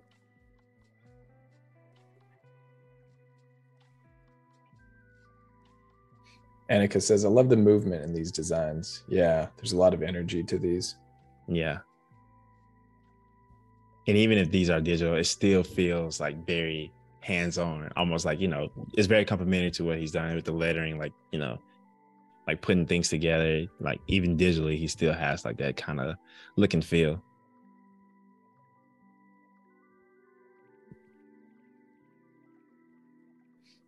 Yeah, I'm really impressed with the just the sheer amount of work too, because it's not like these are, you know, small one-off designs. There's right. the application is so emphasized. Like here, it's showing all the pictures that this had to, you know, this was applied to. Um, mm-hmm. It's like these aren't, you know, quick little one-off designs. It's like, but there's so much of it too. Absolutely. This is a really good example. If anyone's ever like like I feel like I'm pretty weak in presentation with presenting my work and how you display and show it, but this is a great mm-hmm. example of how to do that. Oh yeah, for sure. Yeah, he was definitely a um a big guide on that and um and he's he's even had like you know uh resources where you know he's he's given out booklets around like how to use a pen tool for lettering which was super helpful for me um but yeah, but presentation is like always huge. Like just the use of really nice typography to show off like the physical products as well. Um, and again, you can just see kind of his use of letters and lettering, like really, you know, bring this together. Yeah, the uh, the combination of the 2D designs with like the professional level, you know, photography makes a really big impact. For sure. For sure. I think photography, um, I've recently been getting into it, but I feel like it's a, a great supplement to almost like any artist because it seems like there's a lot of uses for it mm-hmm. when like presenting your work potentially. Oh yeah, for sure. No, it, it makes a big difference. Like, you know, like typefaces and all that. It, t- it tells a story just as much as your actual work does. Yeah. And, and seeing these, um, these designs in context is always so interesting because you know they're blown up to such a large scale. They're defining the look of an entire room. Uh, the first image that i saw that was the very first one on the page is the alaska airlines like seeing your mm-hmm. design on a plane. You know that's just yeah. just wild to see it small on a screen versus blown up yeah. on something like that. Right. And it works so well. Absolutely no, I can imagine that feeling of having yeah. literally something you made like on a plane. For sure. Like I was like, that's that's gotta be a highlight. Right. But, but even the the interest of just like adapting that design, knowing it has to fit on this this certain shape that the plane is, this kind of long cylindrical tubular mm-hmm. thing. Um, it's really interesting kind of how I'm sure he was very like well aware of the context of all these different designs, whether it's on a wall or a plane. Mm-hmm yeah, absolutely. Oh, that's cool. yeah, it's neat he was able to like bring, you know, some of his work in like really real, like you said, practical settings where like, you know, you can actually have it as something that functions versus something that you actually just read or see. Yeah, the uh the ability to take these designs and adapt them to so many different situations so effectively is, is really admirable because I feel like I would you know have trouble with that like oh i've never put something on a wall or i've never made something into a rug but like Mhm. it doesn't really matter what the application is it's, it's just nailing it Right, exactly.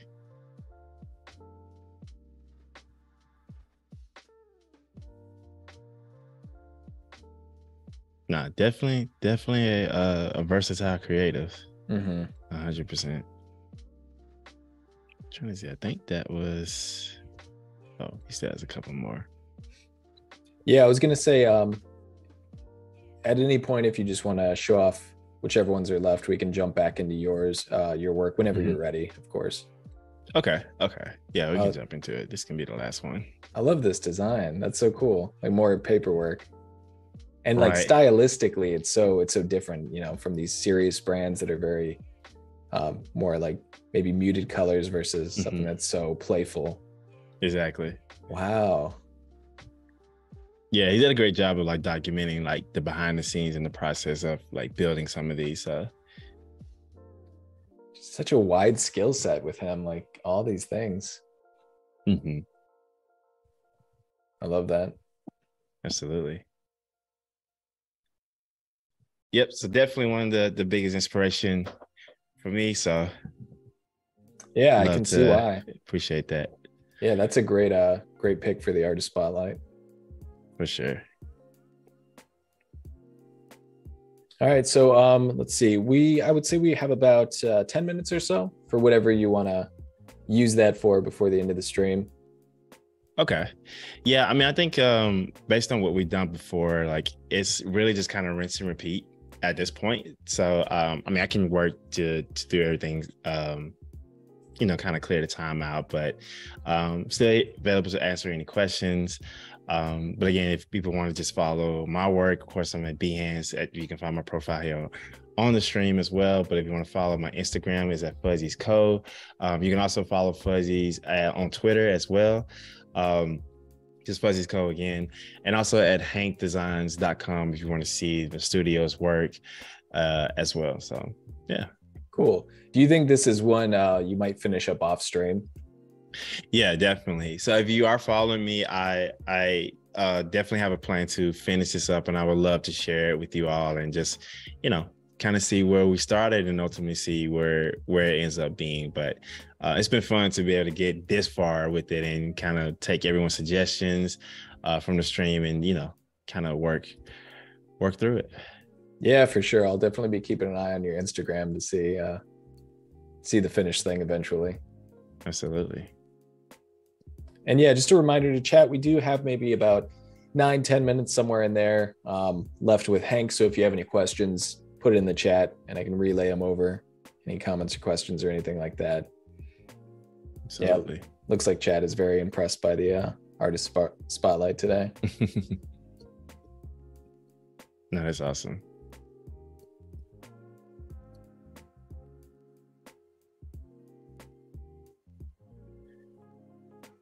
yeah so we're just gonna keep repeating these techniques and i'm gonna go in and add a little bit more detail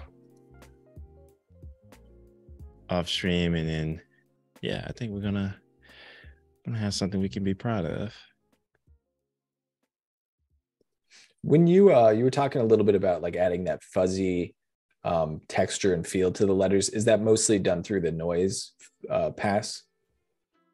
Yeah, and um in this case, uh we because of just like it being the letters and the noise, I think complements this well. Um in other cases I do have custom brushes that I use for that um that fuzzy effect. Now that process does take a little bit longer than um you know isolating an area and painting and add, adding that um, noise effect but it does give it a different type of grit and what we're what i'm learning now and evolving to is like giving different types of fuzzy textures to different types of mediums so if it's kind of lettering certain types of textures respond better than others and i think in this case like the noise effect um i think it's doing that pretty well uh based on what we what we're making right now Okay, nice. yeah Alessandro says, "Love how this is coming out." Yeah, seeing it kind of become 3D all of a sudden is really cool. yeah absolutely No, I appreciate appreciate you all uh, taking this uh, journey with me for sure.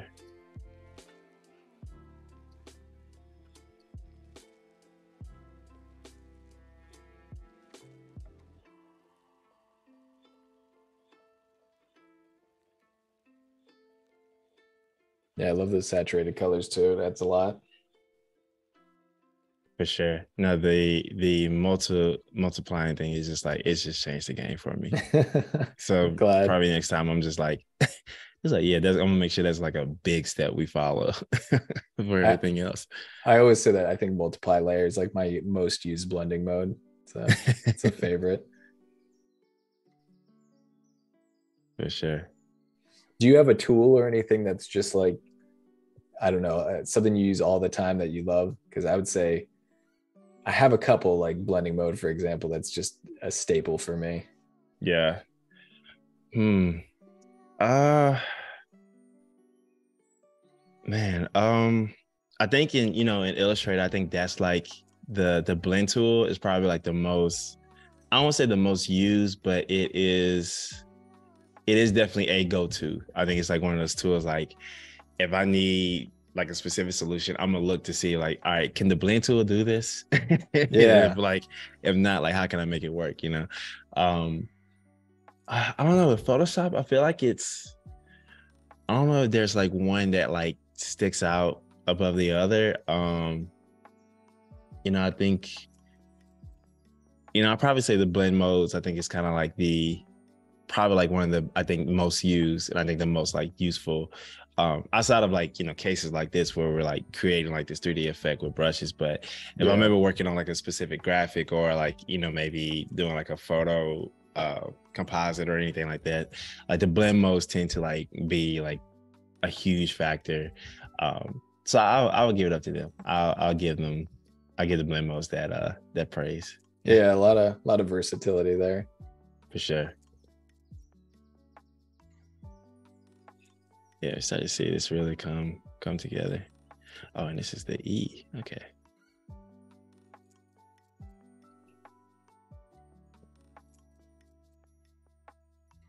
And this is the K's. We'll say K's and shadows. Carol says, uh, I love the copywriting on your website. For, oh, thank uh, you. it hasn't gone unnoticed. yeah, and Annika put the links for your uh, your website and your Instagram in the chat. Thanks, Annika. Oh, awesome, awesome.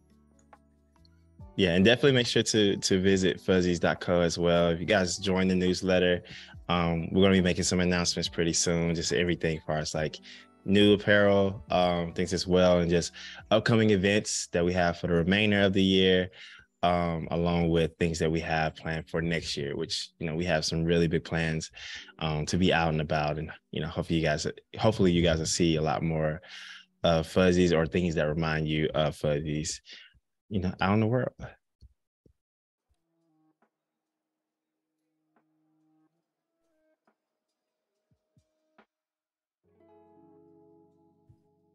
I was curious um, when you said you were working in house and uh, you started doing freelance on the side as well with that. Mm-hmm. Where did you initially start finding clients? Was it through uh, the connections that you had at the startup, or did you find it a, clients another way? Uh, that's a great question. So early on, it was um, it was some re- definitely referral just from people that I worked with in house. Um, there were cases where um, there were certain clients that come to the agency that didn't necessarily fit what we were offering at the time or had something that we didn't necessarily like sold sell or anything um and just because of the relationship I had with them, they knew that I was doing things more independently and like things on the side. So like, you know, a lot of referrals came through them and said, hey, they, you know, either they can't afford us or they are asking for something that we don't necessarily sell as a company. But if you want to do that independently, you know, you know you have our permission and things like that. And that you know that came from just having like a great relationship with them. Um so early on i think that was that was like the like i guess the big turning point of getting like clients when it's like you getting it from your um from your job. But before that you know it was definitely um the family hustle. So like you know helping things with my family at first um and then just close friends. And ultimately it became like more word of mouth um, early on i was doing a lot of things just free just to learn uh, or just to even just to be in the space of certain people and um, luckily enough it paid off i don't recommend it all the time but you know i think there are certain there are certain opportunities that can pay you more than just like like transaction like just cash or anything um, but you have to kind of be really careful like how you decide for those so yeah. early on I gambled a little bit, but that was it paid off ultimately. So, but in short, definitely the turning point, like the early like clientele was just like referrals that came from the relationships that I had in my start at the startup I was at. Yeah, that's a cool situation to be in where the company you're working for is cool with you, like taking on, mm-hmm. you know, the clients, but just a little bit independently on the side. So it's great. Yeah. Great yeah. situation to be in. Yeah. I definitely don't take that experience for granted. I think that was you know just the just the people that I was around and you know they were super supportive and wanted to see me wanted to see me win. So I always you know stay grateful for that. Yeah that's awesome. Also just a little heads up um, to you in the chat it looks like we just have we're at our last couple minutes here before we got to sign off for the day. Oh, it's so hard to say goodbye. Yeah yeah it's been really cool just like watching this kind of slowly transition from 2D to 3D. So mm-hmm. yeah, looking, absolutely. I'll have to catch the rest of it uh, if you post it on Instagram. yeah, I think this uh, this will be my homework for tonight. Kind of a nice little uh little getaway. Yeah, utilize that rain if you got the relaxing rain in the background. Yeah, Put on some music. For sure. Hopefully, it doesn't rain too hard. I do want. I would love to like, at least get outside a little bit today. Yeah. I do find it like harder to concentrate when it's. I mean, I live in LA, so it's usually nice here. But like when it's sunny and mm-hmm. nice and there's stuff going on outside, it's a little bit harder to concentrate than if it's like overcast, yeah. maybe sprinkling a bit. Everything's quiet. Yeah.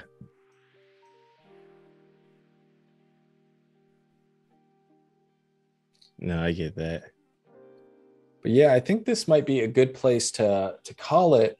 Um, once again, if anyone is just coming and you can see the design that he's worked on, this is something we've been doing the past two days. I want to thank everyone for coming out and watching these streams, hanging out with us, talking with us. And Hank, once again, uh, where can people find you? And um, yeah, any any closing remarks you want to make? Yeah, absolutely. So Thank you all again for watching. You can find me at hankdesigns.com. You can also follow me on Instagram at Fuzzies Co, at Twitter at Fuzzies Co as well. And make sure you follow at Fuzzies.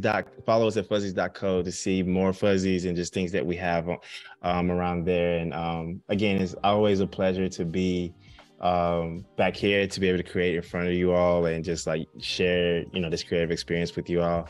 Um, and until next time, I can't wait to can't wait to be back. All right, awesome, Hank. It's been great. Thanks so much. Uh, thanks for joining, everyone. We'll see you next time. Thank you.